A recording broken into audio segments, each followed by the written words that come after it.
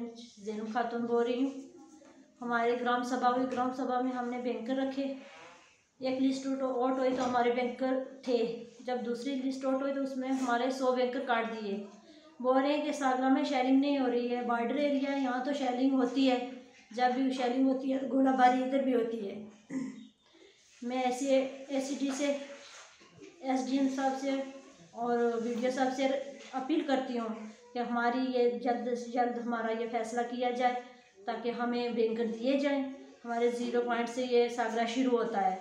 सबको पता है कि ये बॉर्डर का इलाका है। कौन बेवकूफ़ है जो कहता है कि बॉर्डर का इलाका नहीं है और ये काट दिए हमारे बैंकर तो मैं हमारे जो निरका का काम भी हुआ स्किल्ड और मटेरियल सब में स्किल्ड मटेरियल का जो पेमेंट है वो भी नहीं हुई है। मैं एस डी एम साहब से और वीडियो साहब से अपील करती हूँ कि ये हमारा वो भी हल किया जाए मसला। और मैं लास्ट बार फिर कहती हूँ कि हमारा जो बैंकर का मसला है वो जल्द से जल्द हल किया जाए। अगर ये मसला हल ना किया तो हम बैक टू विलेज से बाइकाट करते हैं। शुक्रिया खुदा हाफिज़। मेरा नाम मुस्तफ़ा खटाना है। मैं इधर सागरा का रहने वाला हूँ। आप यहाँ पर आए सबसे पहले तो आपका बहुत बहुत शुक्र शुक्रिया अदा करते हैं हम कि। चलो आप हम जो मस्किन लोग बॉर्डर पर रहते हैं उनकी कोई बात सुनने के लिए यहाँ पर कुछ आया है। तो उसके बाद सबसे बड़ी बात यह है कि हमारा सागरा जो है वो बॉर्डर से अगर आप यहाँ से देखेंगे तो तकरीबन अगर हवाई देखा जाए तो आधा किलोमीटर भी दूर नहीं है। और अगर दूसरा देखा जाए तो, तो एक किलोमीटर या दो किलोमीटर के अंदर ही आता है। लेकिन फिर भी हमारी बदकिस्मती आज तक ये रही कि किसी भी गवर्नमेंट ने हमारे लिए कोई बंकर नहीं दिए हमें।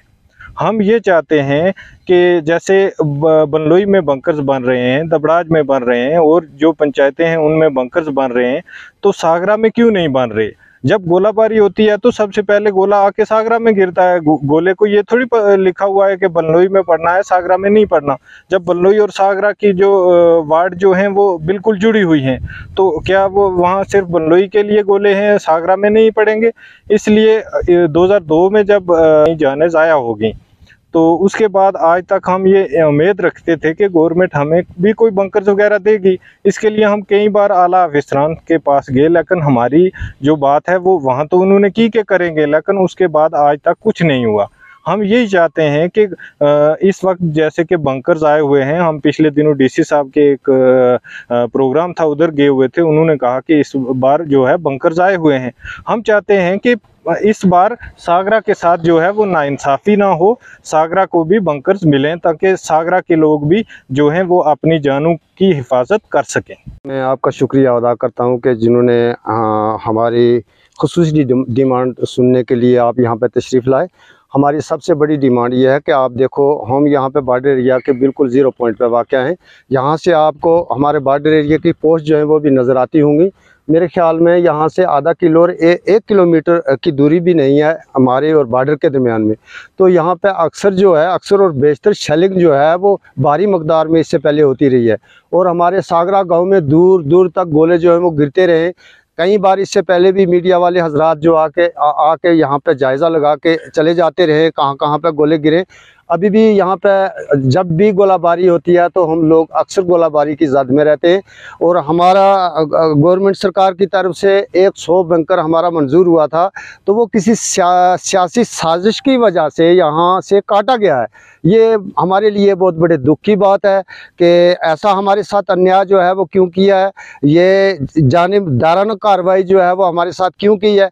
यहाँ पे आप देख सकते हैं कि मनकोट जो है वो यहाँ से कितना दूर है।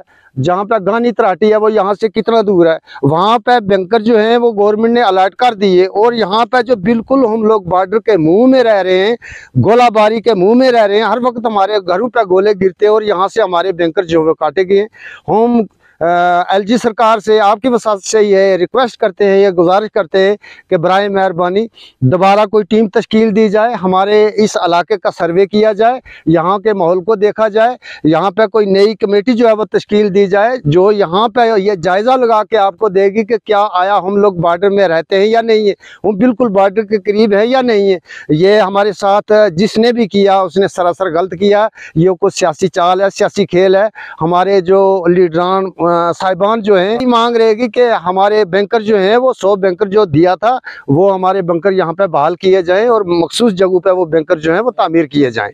अगर अगर अगर ये जो बैक टू विलेज प्रोग्राम चौथा मरहला जो जारी है जो, जो चल रहा चल रहा है या होगा अगर हमारे बैंकर उस मरहले से पहले पहले सरकार ने ऐलान ना किया तो हम इस बैक टू विलेज प्रोग्राम का बिल्कुल कतई बाइकाट करेंगे।